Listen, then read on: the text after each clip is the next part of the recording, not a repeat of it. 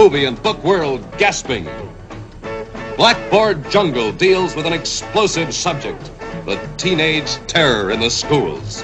It is the frankest, the toughest, the most realistic film since On the Waterfront.